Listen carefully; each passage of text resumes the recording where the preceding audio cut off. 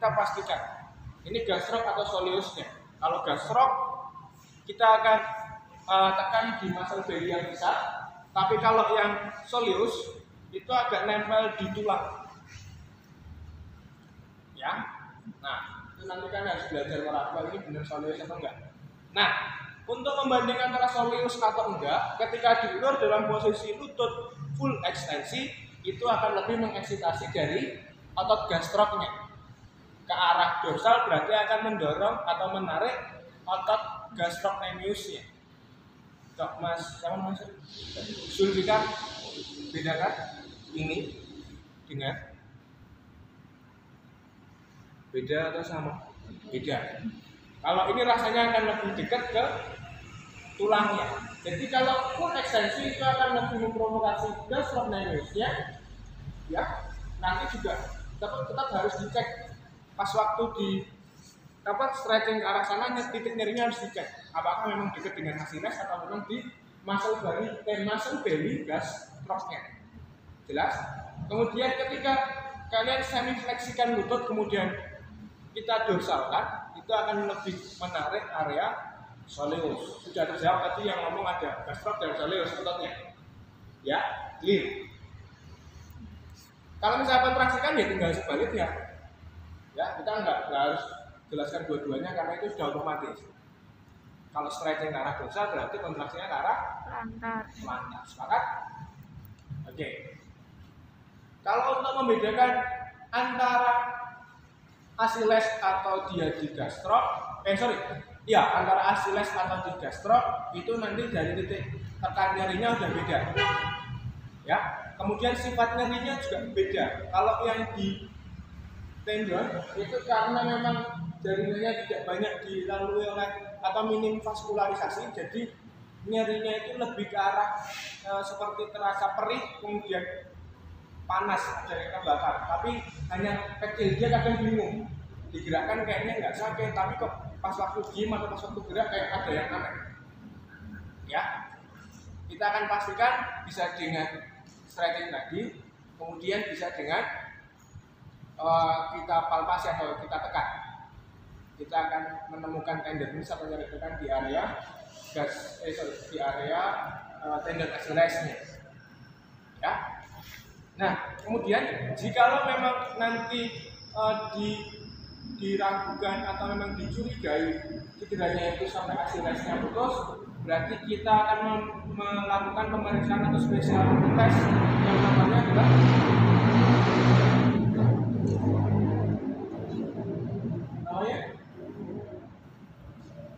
yang dalam posisi tengkurap kemudian apa? Apa? Bukan? Tidak pakai hammer, kita pakai tangan yang kita tekan kemudian ada refleks dokter pras. Dokter pras sering ngomong biasanya.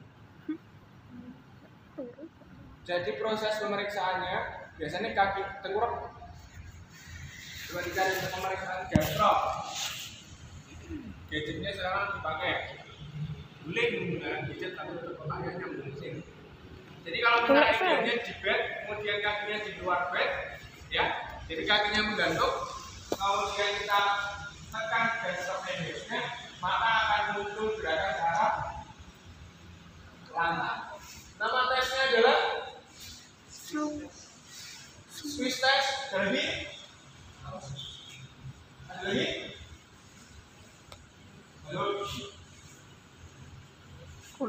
sih?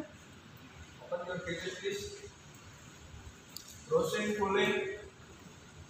Alat hukumnya yang penting berhubungan dengan materi. Switch lagi? Lagi? Lagi? Pemeriksaan gerakan pemeriksaan spesifik ankle.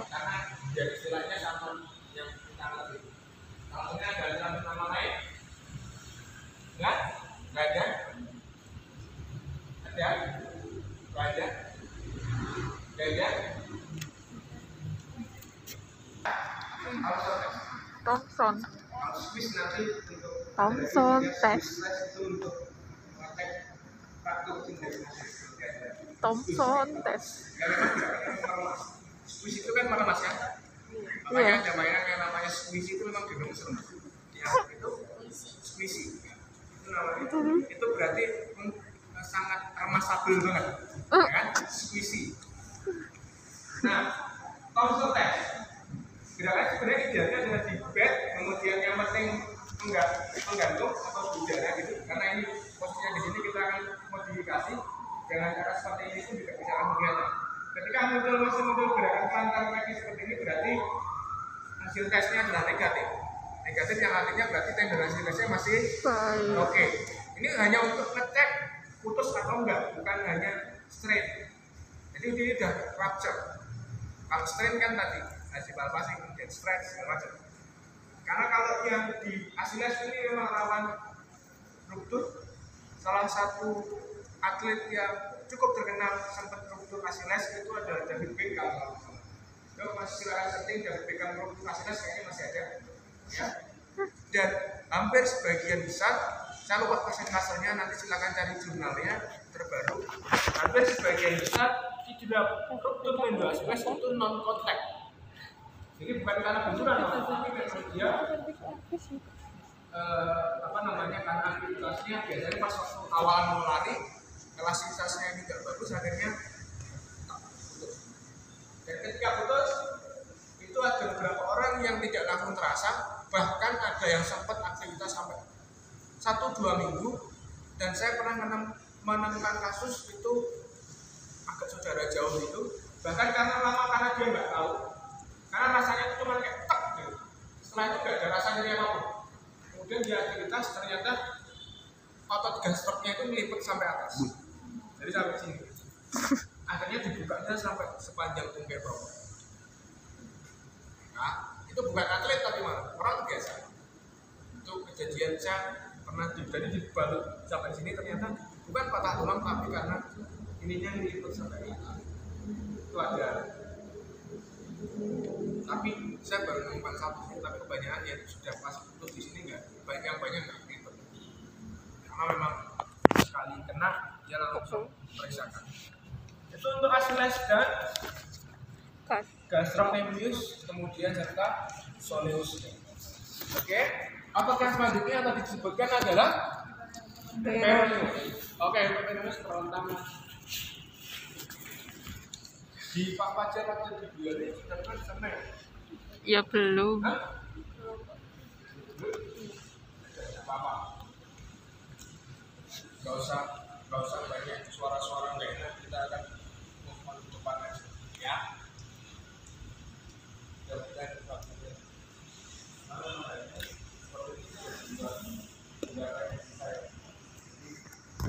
ya nggak apa-apa lah yang penting kalian kalau bagi saya sih pencapaian materi hari ini penting tapi pemahaman kalian jauh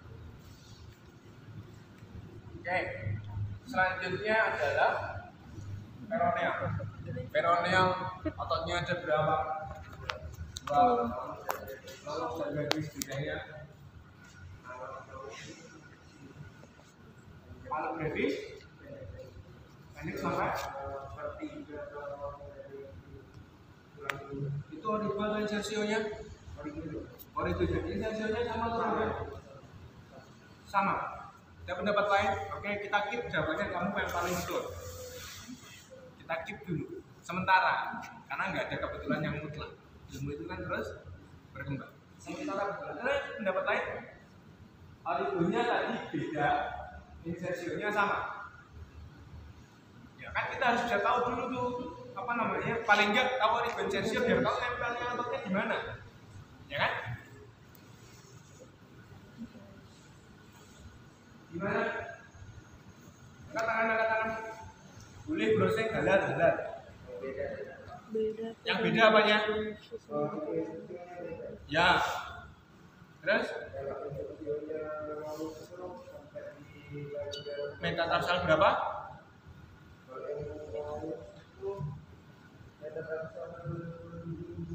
Dua.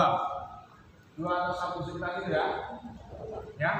Jadi kalau yang longus itu nanti akan lewat di area telapak kemudian akan nempel di area sini kalau yang brevis dia nempel di basis metatarsal lima. 5 Pak Wendy ternyata spesialitas belum pernah diajarkan sama sekali.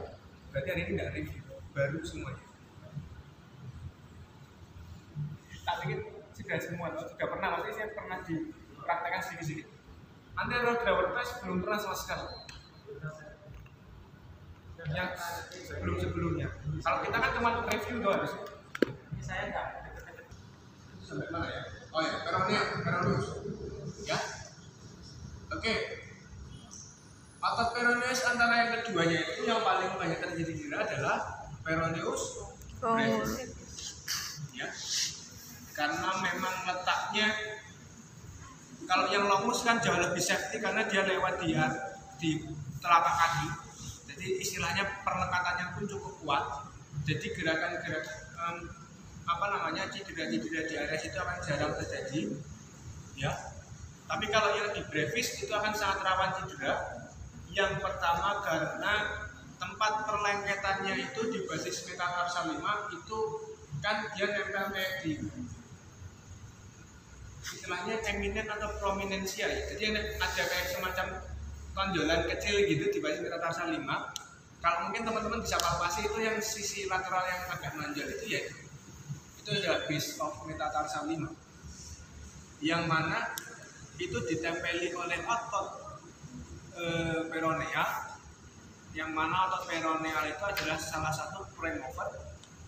Premover jadi bukan premover. Jadi nanti pengucapannya beda prime mover. Jadi penggerak utama penggerak utama gerakan E versi. Versi. Ya itu. Makanya kenapa nanti eh, akan banyak cedera karena nanti akan berkaitan dengan sprain ankle karena sprain ankle itu hampir 80% 85% cederanya itu karena gerakan penguluran ke arah inversi. Inversi yang mana berarti ketika ke arah gerakan inversi selain ligamentumnya ketarik berarti otot peronealnya juga ketarik. Tidak menutup kemungkinan nanti ada cedera yang namanya ambusi atau pencabutan tulang. Jadi tulangnya itu jadi penempelan apa namanya istilahnya jadi tempat perlengketannya di basis metatarsal 5 itu akan tercabut hei. Karena saking eh, kerasnya cedera itu bisa saja terjadi dan ada hati-hati karena ada kan gerakannya eksplosif banget tidak menutup kemungkinan faktor avulsi. Selain nanti juga ada faktor avulsi di area lutut yang mana banyak terjadi avulsi di tendon patella. Itu nanti juga ada. Ya kita akan pelan-pelan dulu kayak biasa nggak mau dulu ya mudah-mudahan nanti waktunya cukup. Nah untuk ngecek berarti kalau untuk ngecek peroneal kita akan meriksa ke arah mana? Tadi kan udah tuh yang gastrok ke arah mana? Inversi dan eversi berarti kalau inversi inversi pengulurannya sepakat? Ketika pos eh, ketika terjadi cedera berarti hasilnya adalah? Oke, pas waktu inversi berarti ada muncul nyeri. Karena pas waktu di mulut. Sepakat? Di? Oke. Kemudian kita akan masuk sisi dengan sprain eh, sprain ankle. Sprain ankle di sisi ketika gerakan cedera itu adalah ke arah inversi, lebih kita lebih kenalnya ini istilah sprain ankle. Berarti lebih populernya yang cedera dia nggak nggak banyak membahas ini fenomenalnya kena atau enggak tapi yang dibahas adalah ini ligamennya kena atau enggak padahal pemeriksaan untuk ligamen itu gerakannya adalah ke arah penguluran atau dikontraksikan? Penguluran. berarti ke arah mana? Kalau di sisi sama? Ke arah mana? In inversi juga. Nah berarti ketika inversi nyeri masih ada dua kemungkinan. Sepakat? Nyambung nggak? Nyambung? Ya. Masih ada dua kemungkinan. Ini peroneal atau ligamen untuk memastikan peroneal nanti kita punya satu pemeriksaan apa lagi? Eversinya di kontraksikan ya berarti kontraksi di sini adalah kontraksi melawan tahanan. Untuk memprovokasi nyerinya apakah muncul nyeri atau enggak. Tapi nanti juga bisa digunakan palpasi untuk memastikan topis Tes. nyerinya di mana. Misalkan kalau dia memang peroneal, berarti kan kita palpasinya hanya di area-area basis metatarsal kemudian. Jadi kalau peroneal brevis itu jalannya dia dari basis metatarsal 5 kemudian ada di belak- belakang malleolus lateral, jadi di area seperti sini, kemudian sampai ke sisi lateral. Jadi nanti palpasinya ya area itu. Kalau misalnya di sini kan nggak mungkin ligamentumnya ada, ligamentum paling nanti di sini. Nah di belakang ini juga kemungkinan ligamentumnya ada, kemudian kita akan telusuri apakah sampai atas atau. Kalau memang eh, dikontraksikan kayak kurang-kurang memastikan ini kira-kira atau enggak, kita pastikan dengan palpasi. Kalau memang sampai atas ya berarti ototnya kemungkinan besar. Kita nggak ada yang pemeriksaan walaupun spesial test, kita nggak bisa itu menyebutkan bahwa itu mutlak pasti letak di cederanya di situ. Tapi paling nggak kecenderungannya ke arah sana. Semuanya nggak ada yang masuk. Ya, sepakat? Oke, berarti jika cederanya ada di area peroneal, ya, peroneal, itu nanti kita akan sajikan ke arah inversi, ya. Kemudian kita akan kontraksikan, berarti dorong ke arah inversi mas, dorong inversi. Ya. Terus tahan, tahan.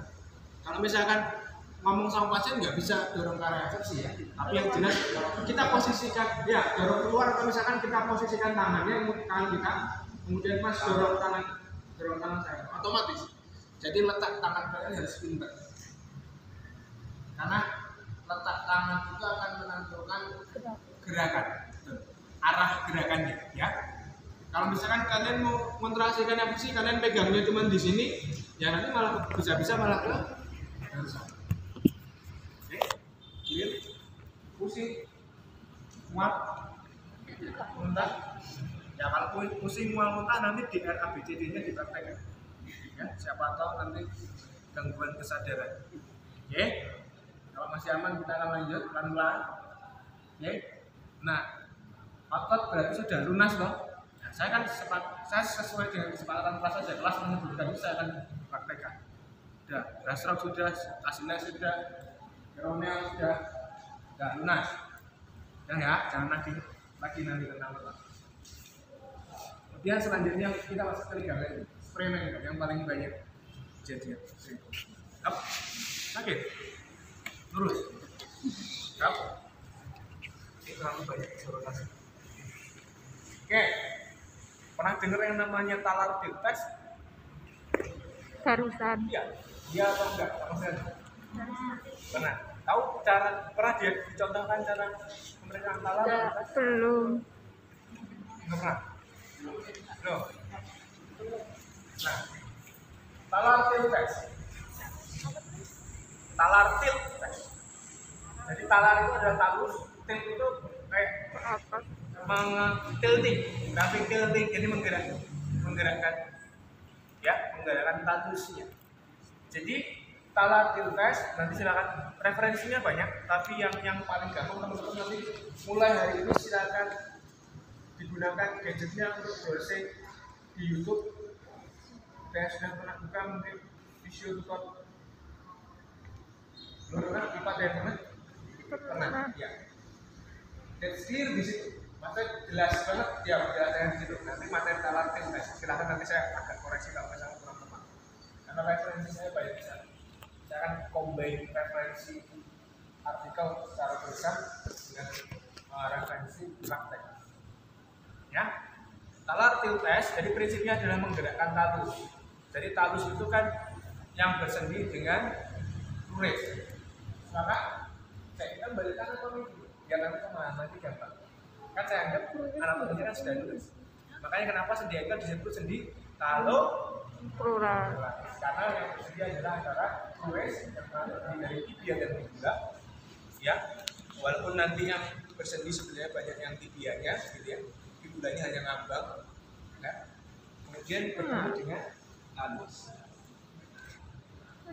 kalau yang persendian-persendian lainnya nanti saya nggak akan sebutkan biar nggak pusing kayak Bigfoot, Redfoot segala macam ada sebenarnya ya nah kita akan gerakkan talusnya jadi kalau misalnya kita ini jadi nanti akan ada tiga posisi yang pelantap netra atau dorsal. Ya. Oke.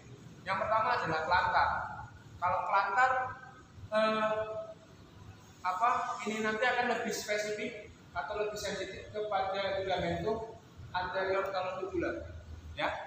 Jadi sebenarnya kalian misalkan sudah biasa seperti ini panah kemudian kamu gerakkan boleh. Tapi kalau seperti ini potensi talusnya nggak akan nggak akan bergerak, nggak akan banyak bergerak. Kan mungkin kebanyakan mungkin sudah pernah seperti ini. Oh iya nyeri nyeri nyeri. Ya, sah sah saja tapi itu nanti nggak akan spesifik menggerakkan talusnya. Saya bukan berarti mengatakan talusnya nggak bergerak.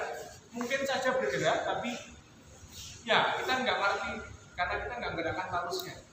Karena nama ligamentumnya adalah nama ligamentumnya saja adalah anterior talus. Iya, berarti kan dengan talus. Ya, kalau ini kita gerakkan berarti footnya yang kita gerakkan. Sepakat? Tahu? Ya, saya akan rem sedikit Pak tahu cepat. Ini padahal belum sarapan, kalau sudah sarapan akan lebih cepat. Oke, kita akan gerakkan ke arah plantar, kemudian kita akan gerakkan ada kerak keriki-kerikinya mungkin sudah pernah dari wajah juga. Jadi kayak ada ada pergesekan antar tulang ya tulang rawannya. Jadi kerak-kerak gitu. Masa? Iya. Itu mungkin tidak tahu ini atlet mungkin atlet makan atau apa yang penting kan atlet semua kan sekarang bisa dianggap atlet bagi para jadi atlet sport ya. Ya kita pelantar kemudian kita ah ini juga banget jadi kita gerakkan boleh dengan ini tapi harus ininya juga gerak. Ya ini. Ya kita harus gerakkan. Nanti akan muncul nyeri di area sini nih. Kalau misalkan nyeri kalau ini sudah mungkin unstable ankle nanti kita akan cek lagi. Ada lagi yang namanya anterior drawer test tapi di ankle oke? Jadi gerakannya pelantar kemudian kita gerakan ke arah inversi. Eh eh sorry ya ya berarti nggak kan ya inversi. Ya nanti silakan cek. Kalau mungkin ada saudaranya temannya yang taruh eh aku kemarin ke Sleo. Nah itu bahan objek kita untuk belajar. Salah-salah sedikit dia nggak tahu kan oke yang jelas kita belajar. Tapi jangan ngomong. Karena kebanyakan tuh kalian sekarang nggak pede dengan kemampuannya. Diminta tolong temannya untuk periksa ini itu aku rongsonya aku belum bisa aku belum bisa. Jangan gitu jadi pede aja buat belajar. Justru malah dari situ nanti kita ngerti oh ternyata gini ya perasaannya kalau misalkan ligamentum oke. Kemudian yang selanjutnya adalah uh, kalau yang ada anterior sebelum ke posterior ada yang namanya calcaneofibula jadi antara calcaneus dan fibula ya. Nanti posisinya adalah netral nanti nyerinya akan lebih ke ini. Antara kalkaneus jadi kan, kan fibulanya kan ada di sini. Kalkaneusnya kan di kalkaneus jadi antara ini dari sini. Ini sekitar sini. Nah ini ada gerindil-gerindilnya ya. Rasa. Ada gerindil-gerindilnya area sini. Nanti gerakannya sama yang kita pegang tapi posisi angle-nya. Ya ini masih cukup kuat terus biasanya ada ada memang gerakannya itu dia ada gerakan berlebih selain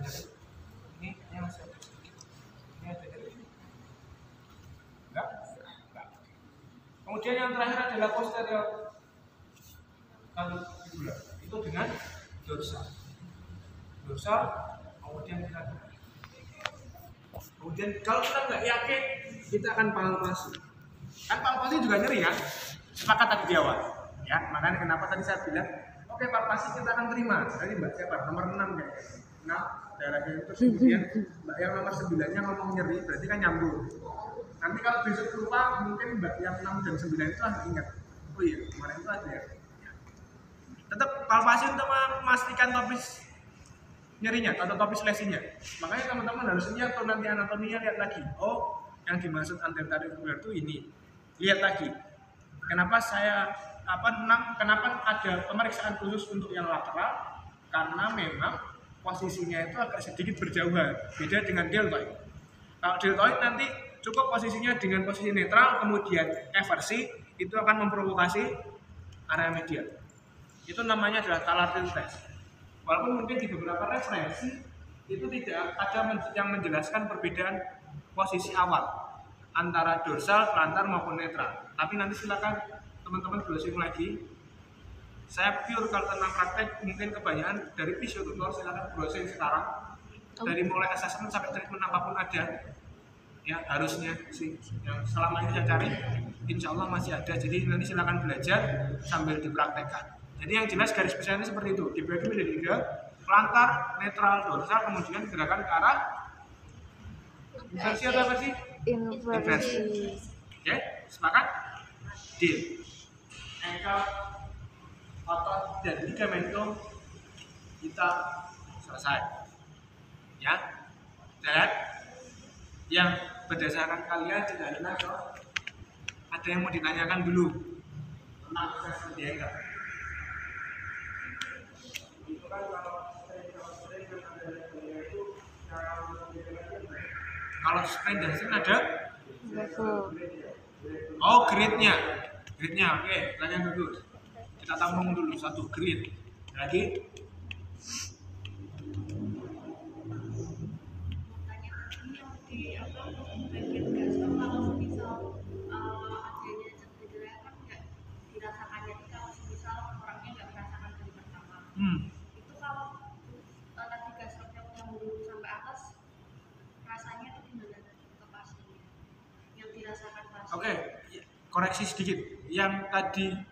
nggak nyeri itu cedera ketika di asilesnya ya. Tendon.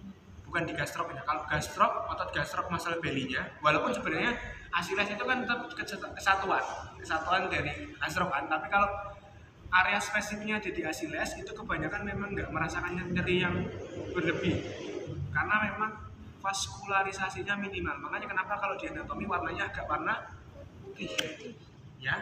Oke. Tapi kalau sudah naik ke arah gastrok karena memang area vaskularisasi dan mungkin nanti adalah inervasi juga karena inervasi juga mem- bisa memprovokasi nyeri dan itu nanti apalagi mulai di area popliteal ini sudah mulai ada percabangan antara tibialis dan apa? Apa? Gula. Hah? Kan dari sedilus. Ya. Kemudian turun masih besar. Kemudian di bagian popliteal nanti akan berjabang nih di belakang satu, di arah depan satu. Nervous apa? Ya peroneal sama tibialis. Nyambung tadi. Good. Itu ya. Jadi kalau sudah mulai ke arah gastrok akan lebih kerasa nyerinya akan lebih dominan karena satu memang inervasinya akan banyak atau mungkin karena baru percabangan jadi masih besar di situ. Ketika ada area yang terganggu di situ pasti sarafnya juga teriritasi. Ya. Tapi kalau sudah masih di bawah, karena apalagi avaskularisasinya atau avaskularisasi atau vaskularisasinya minimal, gitu ya, itu eh, reseptor terhadap nyerinya agak minim. Sama halnya nanti di bagian otot itu eh, apa namanya di area meniskus. Meniskus itu kan ada area yang dua per tiga merah. Di anatomi, ya kan? Ada yang putih, ada yang area merah. Dua per tiga. Saya lupa dua per tiga merah, sepertiga putih atau gimana gitu. Nah, nanti diinget-inget lagi. Harusnya hari ini sih, kan kita jadwalnya hari ini knee hip. Nah, itu seharusnya salah satu di siapkan hari ini. Oke, iya, dari kemarin. Karena kan kita sudah sepakat ber- berangkat kuliah nggak boleh kosong. Kosong. Oke. Ada lagi? Eh sorry. Ada lagi? Habis ini kita akan bicara tentang. Ada lagi? Itu ya jawabannya. Jelas?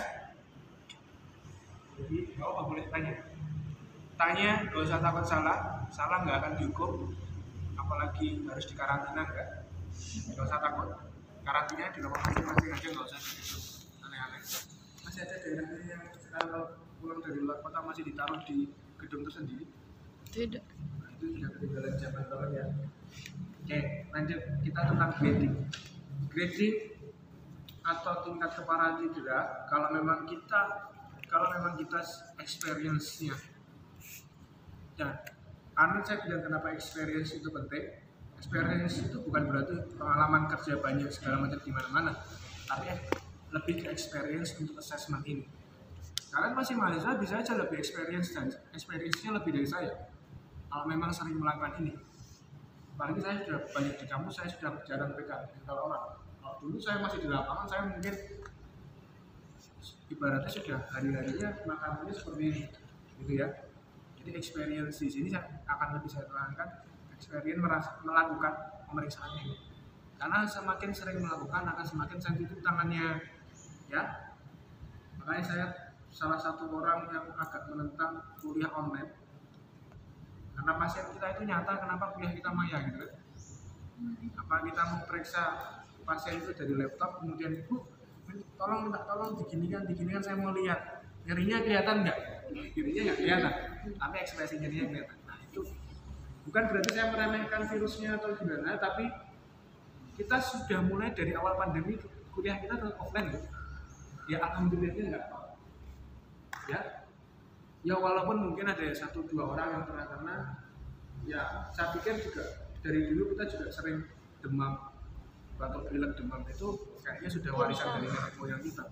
Jadi bukan meremehkan tapi kita lebih aware terhadap diri kita. Jangan terlalu panik. Karena uh, pikiran yang negatif itu adalah 50% sumbernya saya ngomong gini bukan saya berarti meremehkan atau segala macam tapi kita bisa lebih memilah lebih ke positif tingginya ya. Masa terlalu panik. Oke kita akan kembali ke mana tadi grading ya grading itu nanti akan selain sebenarnya e, bisa dengan cara manual jadi kita bisa merasakan e, kalau grading itu bukan dari tingkat nyerinya mana yang lebih kuat itu menunjukkan nyeri paling berat tapi juga teman-teman mungkin sudah di awal dijelaskan kalau grade 1 misalkan itu tanda-tandanya misalkan nyarinya juga minimal, kemudian bukanya minimal segala macam. Ya, itu tanda-tanda itu nanti juga tetap di compare. Jadi akibat apa namanya? Uh, istilahnya representasi dari peradangan itu nanti akan menunjukkan secara tidak langsung menunjukkan kepadanya. Kalau memang dia satu contoh uh, nyerinya cukup eh, nyerinya hanya ringan, kemudian bengkaknya tidak cukup tampak kemudian fungsinya juga masih tidak cukup terganggu itu kita akan mengarahkan oh ini kemungkinannya uh, ringan saya bilang semuanya nggak ada yang pasti. Ya tapi paling enggak kita jelaskan bahwa oh ini kecenderungannya atau ini kemungkinannya masih ke arah ah, ringan tapi kalau misalkan e, nyerinya sudah mulai menjerat mulai nyerinya menengah nyerinya itu bisa nyeri diem dan nyeri gerak. Ini itu bisa nyeri diem. Kemudian bengkaknya juga makin tampak gitu ya. Kemudian pas waktu jalan masih bisa tapi agak kelihatan sedikit kesulitan. Kalau yang berat itu memang dia harus dibantu bahkan dibantu pakai krek tapi kalau dengan periksanya tadi memang pertama pure experience tapi bukan kalau yang tadi bukan dari nyerinya walaupun ketika kita seperti ini ada nyerinya gitu ya ya kalau untuk menentukan grade-nya itu akan lebih ke seberapa luas pergerakannya Nah, kalau kita nggak pernah nyoba yang normal, kita kan kan nggak tahu. Oh, kalau yang segini itu pergerakannya sedikit. Kalau yang segini itu banyak. Contoh misalkan yang nanti akan di lutut. Uh, di lutut itu kalau yang varus valgus test itu ada yang full ekstensi, ada yang semi fleksi. Ya, pernah dibahas? No, nah, belum kalau belum nanti terlalu jauh nanti biar nggak penuh. Kita kembali ke sini. Jadi gradingnya dia dari situ. Selain nanti juga kita harus lihat dari MRI-nya. Jadi teman-teman kalau cederanya ada di otot dan di ligamen itu di X-ray atau rongsen nggak akan kelihatan sampai matahari terbit dari anak itu nggak akan kelihatan. Tapi harus MRI. Walaupun otot sekarang sudah bisa pakai USG, ya. Uh, eh, USG diagnosis untuk masal itu bisa sebenarnya USG USG yang sekarang dipakai untuk kehamilan itu memang spesifikasinya bisa dipakai untuk ini sebenarnya tergantung nanti spesifikasi alatnya bisa dipakai untuk muskuloskeletal. Nah itu di, bisa digunakan untuk melihat apakah ada kerobekan di ototnya atau tidak. Setelah misalkan tahu robek kan kita bisa tahu grade kerobekannya parah atau tidak. Ya kalau misalkan strain strain uh, kalau yang sering saya ketemui bukan bengkaknya mungkin iya tapi mungkin hanya sebentar tapi yang jelas itu warna kebiruannya biasanya selain nyer- nyeri dan fungsi olesanya jadi fungsi olesanya ya. Tapi juga biasanya kelihatannya apa namanya kebiruannya. Memar kebiruan. Tapi kalau memar karena benturan kan beda. Kalau misalnya dia memang riwayat tidak ada benturan atau atau mungkin bisa juga benturan tapi memang area warna birunya itu lama biasanya di atas dua minggu masih muncul nyata. Kalau misalkan hanya kontusio gitu ya atau benturan gitu ah, mungkin seminggu udah mulai agak turun warnanya. Ya. Itu untuk membedakan gradingnya. Nah kemudian tidak menutup kemungkinan terjadi fraktur di area enggak ya. Area enggak yang sering terjadi fraktur itu adalah satu. Yang tadi kita udah bahas. Ya di basis metatarsal avulsi. Itu termasuk faktor. Avulsi fraktur atau fraktur avulsi. Kemudian eh, selanjutnya ada di midfoot. Midfoot itu nanti teman-teman silakan lihat lagi anatominya. Jadi itu an- menyambungkan antara tulang navikular dengan yang bawah ini. Di bagian medial di sini ada tulang navikular namanya. Itu nanti itu biasanya ada beberapa hal yang sering terjadi fraktur ya di midfoot nah, di foto dari sini bisa juga di metatarsal tapi nanti akan sangat jarang. Ya ada sering jarang. Tapi yang paling banyak kalau di radiological adalah yang pertama avulsion tadi. Kemudian nanti eh, ada fraktur sindesmosis namanya. Bisa juga fraktur-fraktur di malleolus juga bisa. Ya. Tapi yang nanti yang banyak adalah ada yang bilang sindesmosis itu disebut dengan fraktur ada yang di- bisa di- ada yang bilang literasi yang mengatakan sprain juga. Ya sindesmosis. Sindesmosis itu kan jenis jenis sendi yang memang relatif tidak bisa bergerak. Itu disebut sindesmosis anatomi lagi istilah anatomi di awal. Nah sindesmosis itu nanti yang rawan itu adalah sindesmosis di sisi distal pertemuan antara tibia dan fibula ya harusnya kan nggak ada nggak ada nggak ada nggak ada nama nggak ada apa namanya nggak ada pergerakan di area ya tapi nanti ketika benturan segala macam itu potensial dari cedera ada.